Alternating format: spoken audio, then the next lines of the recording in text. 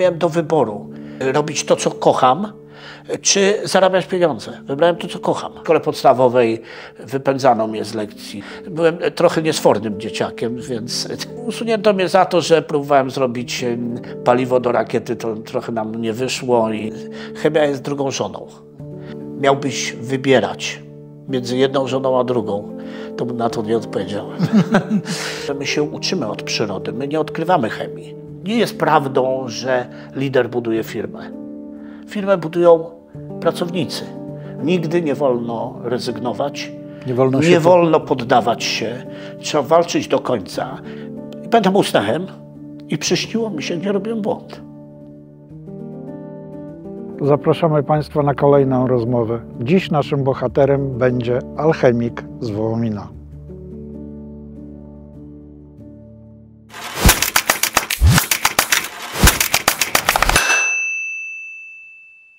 Korzystamy z uprzejmości naszego gospodarza, pana Bogdana Domagałę. Jesteśmy w siedzibie jego firmy Zakład DJM Chemicals.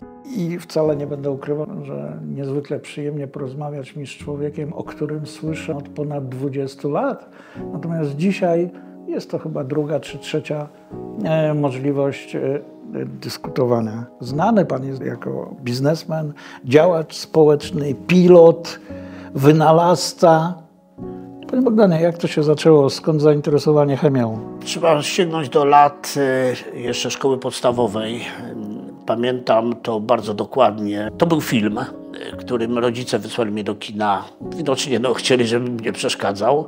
y, Na film pod tytułem Powodzenia chłopcze. Był to film, w którym młody chłopczyk chciał uratować wzrok swojej siostrze. Szukał taką czarownicę, która powiedziała: Słuchaj, Wrócę jej wzrok, jak znajdziesz kwiat, który o jednej nocy kwitnie w e, górach. On się błąkał po tych górach, znalazł ten kwiat, przyniósł tej czarownicy. Ona z niego zrobiła eliksir, ale schowała przed nim, więc on nadal szukał tego eliksiru, znalazł, podał tej swojej siostrze i dzięki temu odzyskała wzrok. Wracając do domu, tak mnie zafascynowała ta rzecz, że zniszczyłem wszystkie kwiatki, które były w domu, bo chciałem eliksir jakiś zrobić. Oczywiście to, to była nie, jeszcze nie chemia, ale poszukiwanie tej chemii.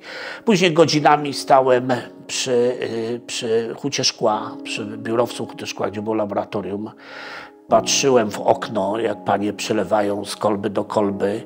No i była taka wspaniała kobieta, która zaszczepiła pierwsze te godziny u mnie tej chemii. To była kierownik laboratorium w Hucie Szkła, yy, pani Leszno chyba się nazywała, już nie pamiętam dokładnie, jak pomyliłem, to bardzo przepraszam nazwisko, która zapytała się mojej mamy, przy okazji będąc u niej, a mama była główną księgową w Hucie, co to za chłopczyk stoi, pani się patrzy godzinami w te okno. A to mój syn. I ona mnie zaprosiła do laboratorium i tak się zaczęła moja To chemia. była fascynacja mieszania próbówek i To kolorów była preparatów? fascynacja. Na początku chciałem być płetwonurkiem oczywiście. Ma, mama nawet kupiła mi sprzęt, taki podstawowy płetwy i ten, ale jak zobaczyłem pierwszą tą chemię, to ona mnie fascynowała i już miałem pierwsze laboratorium swoje w domu, w pokoju, czyli odczynniki chemiczne, gdzie próbowałem różne rzeczy robić. Ale bezpieczne. Znaczy bezpieczne, bo nic się nie stało, ale ja sobie jeszcze nie zdawałem sprawy, co chemia potrafi, ale to już był pierwsza ta nauka, że chciałem e, po prostu tą chemię. Ten. No oczywiście w szkole podstawowej wypędzano mnie z lekcji, e, jak była jakaś kartkówka, no bo ja bardziej przeszkadzałem niż, niż rozwiązywałem tą chemię, bo dla mnie to było śmieszne. Później było technikum chemiczne w Piastowie. No niestety musiałem wstawać o 5 rano i jeździć do Piastowa. Z Wołominia Bo- pan z tak, bo w internacie nie bardzo mnie chciano. Byłem trochę niesfornym dzieciakiem, więc po prostu usunięto mnie. Ale taki kulturalny łobuziak? Czy... E, Kulturalny łobuziak. Usunięto Mhm. mnie za to, że próbowałem zrobić paliwo do rakiety, to trochę nam nie wyszło i, i e, To później... był pierwszy To wybuch? był taki może nie wybuch, ale pierwsze takie Pierwsza eksplozja, tak. niekontrolowana. Usunięto mnie z internatu, no nie tylko za to, bo jeszcze tam za e, drobne rzeczy, też związane z chemią. E, ale dojeżdżałem, o 5 rano wstawałem, żeby dojeżdżać do Piastowa, do technikum chemicznym. Tam później w trzeciej klasie na praktykach e, trafiłem na Politechnikę Warszawską do wspaniałego człowieka, chyba jednego z, no, nazywam go polskim noblistą, profesora Mąkoszy i pana doktora Jawdosiuka, gdzie zaj- zacząłem zajmować się na praktykach pierwszymi ciekłymi kryształami. Później oni mi pozwolili więcej czasu spędzać na uczelni niż w technikum. W technikum tylko musiałem się pojawiać na te ważniejsze y, zajęcia i ważniejsze egzaminy. Później z wyróżnieniem y, dostałem y, pracę dyplomową, która została później uznana też jako część pracy y, wyższej. Y, Później pracowałem w Instytucie Chemii i Technologii Organicznej, trochę w Instytucie Inżynierii Materiałowej. Później współpracowałem z kilkoma instytutami. No i y, niestety mój czas y, pracy na uczelni się skończył po tym, jak trochę miałem taką scysję, yy, że chciałem trochę inaczej coś robić niż przełożeni. No i zacząłem się pierwszym biznesem zajmować. I to była 85 rok. Pierwsza, czyli wtedy, 86. kiedy powstał.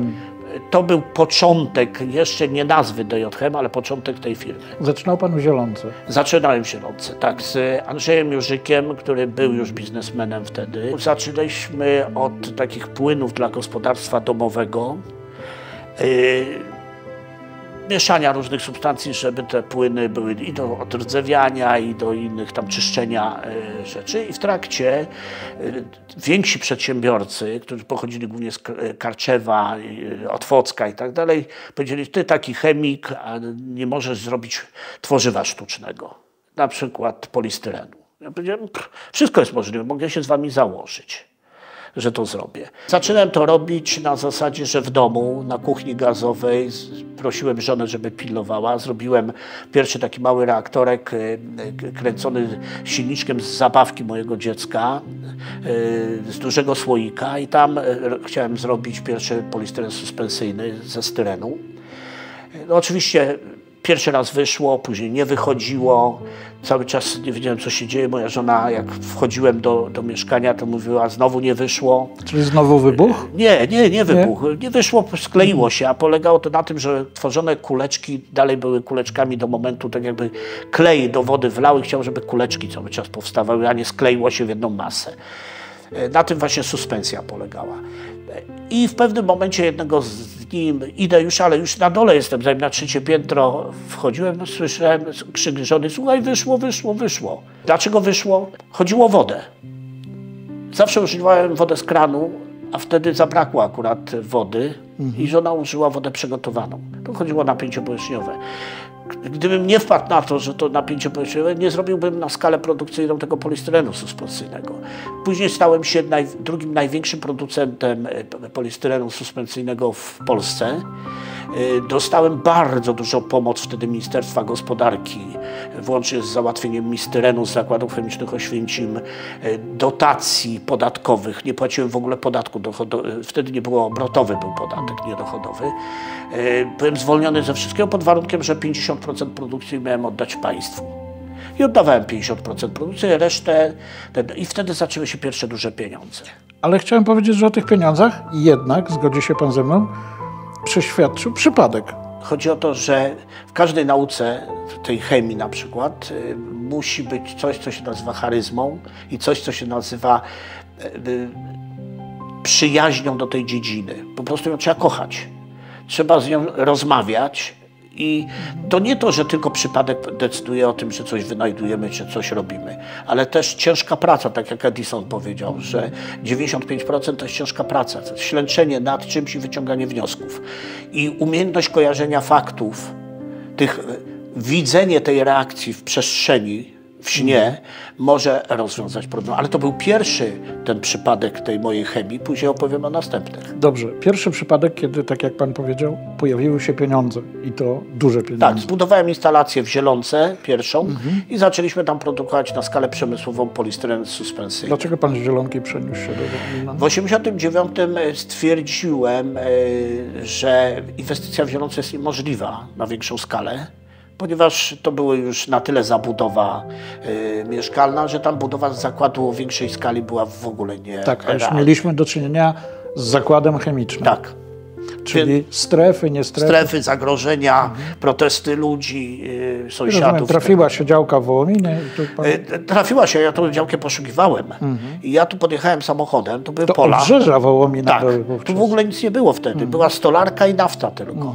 Jak ja tu przyjechałem w 1989 roku i zobaczyłem te pola, to stwierdziłem, że cudownie byłoby, gdyby tu stanął zakład chemiczny. Ja sobie go wyobraziłem. Ja go miałem, Oczami wyobraźni? Oczami już widziałem, jak on stoi. Ale cofnijmy się jeszcze wcześniej. Y, Po produkcji polistyrenu suspensyjnego y, pojechałem do zakładów kiedyś Oświęcim, spotkałem wspaniałych ludzi, którzy powiedzieli, słuchaj, my kupujemy taką substancję ze Stanów, nikt tego nie produkuje, chodziło o stoper polimeryzacji, dietylohydroksylaminę. To produkowała jedna firma na świecie, Penwall Division w Stanach Zjednoczonych i był całkowitym monopolem, stawiał warunki jakie chciał i padło słowo, słuchaj, drugi raz, ja wtedy z polistyrenem, teraz e, z dietylohydroksylaminą. Słuchaj, ty taki chemik, dlaczego czego nie możesz zrobić? Ja mówię, dlaczego nie mam nie zrobić? Będę próbował. No i zacząłem najpierw w instytucie na uniwersytecie to robić. Próbowaliśmy. W laboratorium wychodziło, ale jak próbowaliśmy w hipochemię robić to na większą skalę, to niestety nie dało się. I to była tragedia. Wtedy straciłem prawie wszystkie pieniądze, które zarobiłem na polistyrenie suspensyjnym. Może nie, przepraszam, nie straciłem. Włożyłem w tą y, opracowanie tej technologii. I tu przyszedł w pewnym momencie ten następny etap. To była wigilia, pamiętam, nawet nie stać nas żoną było na, na kupienie podstawowych e, rzeczy na święta. Mieszkaliśmy z rodzicami w jednym pokoju z dwojgiem dzieci. E, I to się aż płakać chce, wie pan. E, I pamiętam, było mi przykro, że moje dzieci, moja żona nie ma świąt, tylko muszą rodzice za to płacić. I pamiętam usnąłem i przyśniło mi się, nie robiłem błąd. Niesamowite. Autentycznie. E, Chodziło o to, że e, w szkle, jak robiłem, w, to to wychodziło, ale jak zacząłem robić w reaktorach, e, które wykonane były z kwasoodpornej stali, przestało wychodzić. O co tam chodziło? Chodziło o wpływ materiału, e, z którego wykonane było urządzenie.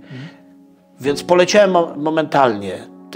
Drugi dzień świąt ściągnąłem tych swoich e, e, ludzi, którzy ze mną współpracowali i pierwszy raz otrzymaliśmy na skalę techniczną dwuetylohydroksalaminę, na której czekały zakłady chemiczne Oświęcim jak na, nie wiem, lekarstwo.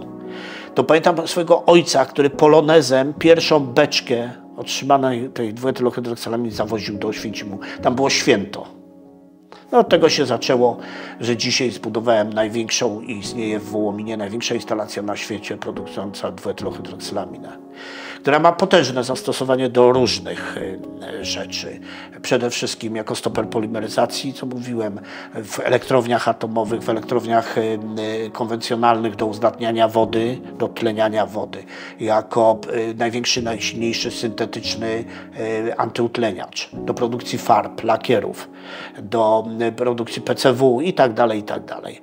Dzisiaj możemy się pochwalić największą i najbardziej skuteczną instalacją na świecie. To i NASA wykorzystuje. E, NASA wykorzystuje inną substancję, SECHA, którą też opracowaliśmy do zdjęć wysokiej rozdzielczości.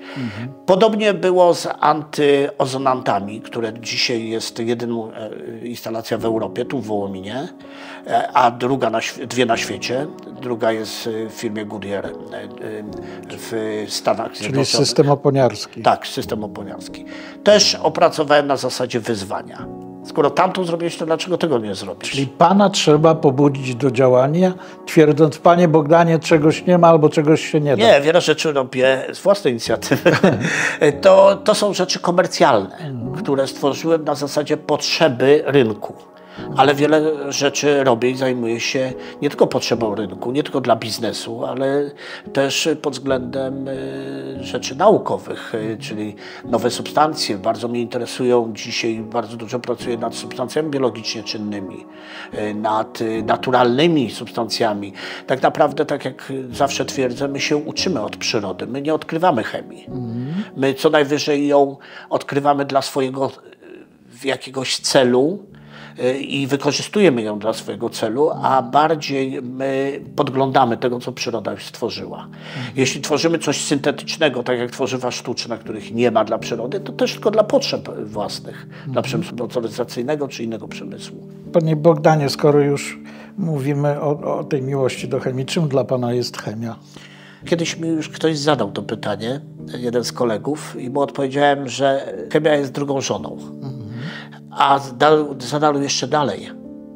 Miałbyś wybierać między jedną żoną a drugą, to bym na to nie odpowiedział. Powiem panu, oprócz tego, że mam pasję, to ja bardzo dużo maluję. Dużo namalowałem, ale większość 99% swoich obrazów rozdałem znajomym. I to jest odskocznia? Ja jako młody chłopak zarabiałem na malowaniu obrazów. Robiłem dużo portretów dzieci, malowałem obrazy na zamówienie. Zawsze zajmowałem się metodą malowania kopii, na przykład na zamówienie, ale też malowałem obrazy, ale tylko techniką realistyczną. Teraz zajmuję się też, wykorzystuję wiedzę chemii, rekonstrukcją starych obrazów, które uda mi się gdzieś zdobyć, kupić i, i tak dalej. Staram się odnowić, od, począwszy od pod do poprawienia odprysków farby, uszkodzeń i tym podobne. W pewnym momencie swojego życia doszedł Pan do tego, że Pan niczego już nie musi udowadniać. A to, co Pan robi, wynika z tego, że Pan chce. Jedno z ważniejszych pańskich dzieci, jeżeli mogę tak powiedzieć, to jest fundacja. I prosiłbym kilka słów na ten temat. Największą tragedią jest to, że nie wszystkim jesteśmy w stanie pomóc. Za mało mamy siłę, a chciałbym, żeby jak najmniej ludzi cierpiało, a najbardziej dzieci. Podstawowym celem fundacji są nowotwory, ale też bardzo zła choroba, nieuleczalna, niezdiagnozowana do końca, stwardnienie zanikowe boczne. Jest to coś e, tak koszmarnego, że człowiek w bardzo krótkim czasie traci wszystkie czynności ruchowe, dostaje mu tylko pracujący mózg, kontaktuje się gałkami ocznymi i tak dalej, na końcu umiera. Ale to jest coś strasznego, bo człowiek jest, y, jakby brzydko powiedziane, nie, aż, ale muszę to powiedzieć, jest rośliną, a myśli, czuje i wie, co, jaki ból nieraz go fizycznie. Ile osób macie na chwilę obecną pod opieką? Ilu pomogliście? Y, dużo. Trudno mi jest tak powiedzieć. Ja nie chcę nawet liczyć, bo jest mnóstwo osób, które pomagamy ad hoc.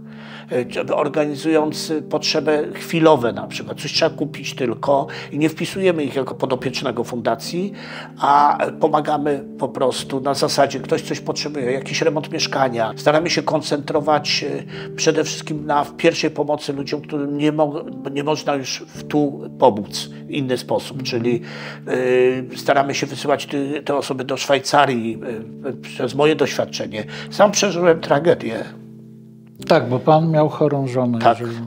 tak. Mhm. I zrobiłem wszystko, żeby dzisiaj była zdrowa i jest zdrowa. Więc uważam, że nigdy nie wolno rezygnować, nie wolno, nie wolno poddawać się. Trzeba walczyć do końca i korzystać e, z wiedzy ludzi, mhm. z doświadczenia ludzi i przede wszystkim z serca ludzi. Tutaj warto podziękować ludziom dobrego serca, bo nawet nie zdawałem sobie sprawy przed fundacją, że ludzie potrafią być tak, tak e, otwarci na chorobę inne, innych, tak pomagać, oddawać ostatnie swoje nieraz grosiki po to, żeby tej osobie pomóc. Ale wymyśla Pan też sposoby zasilania fundacji, na przykład tak. festyn piwa i, i dobrego jadła, no to jest doskonały pomysł, jest w stanie zasilić jakimiś pieniążkami to, co Pan e, robi na co dzień. Tak, to jest jedna z metod.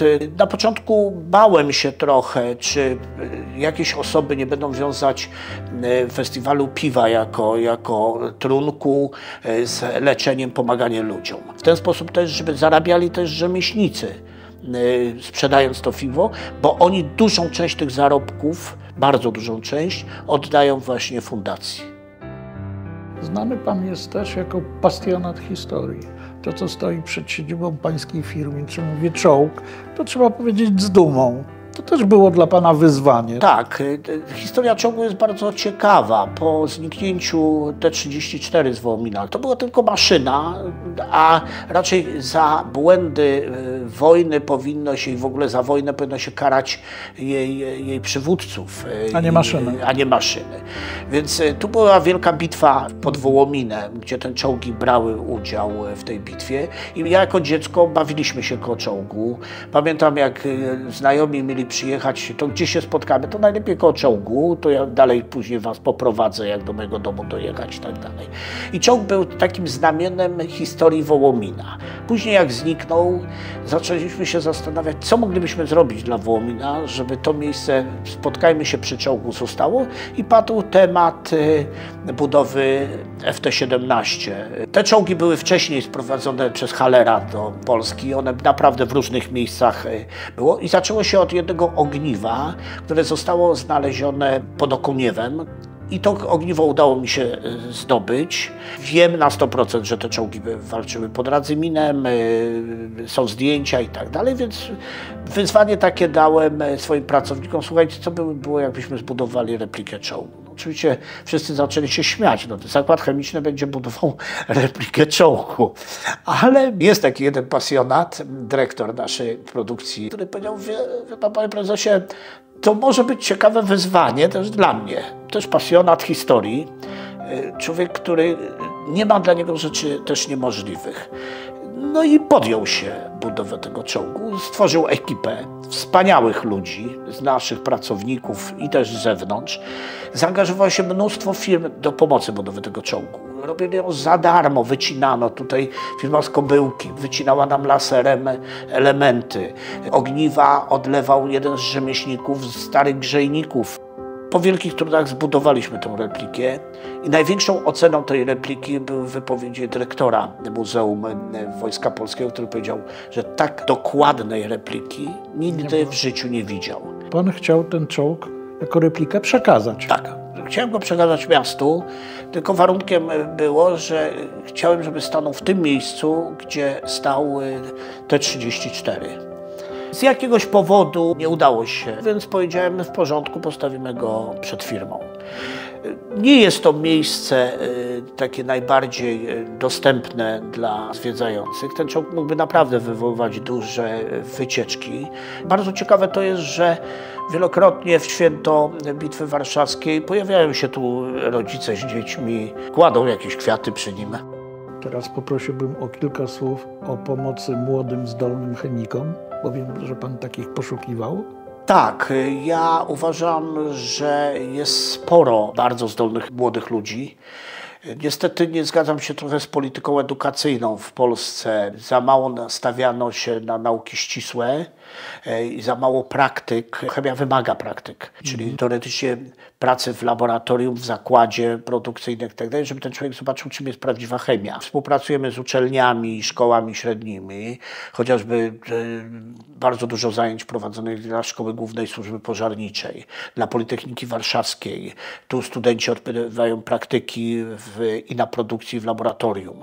Uczą się tego, czego na uczelni nie są w stanie. Mamy takiego jednego e, rodzynka, za przeproszeniem, który bardzo dużą już karierę robi w Stanach, którego z Polski pomogliśmy wypromować e, do, do Stanów Zjednoczonych. Pamięta, gdzie zaczynał, że to był DJH?